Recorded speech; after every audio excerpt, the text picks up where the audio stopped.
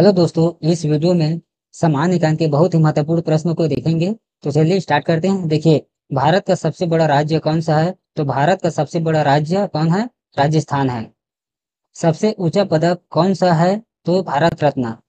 भारत का सबसे बड़ा नगर क्या है? मुंबई है। सबसे बड़ा महाद्वीप कौन सा है?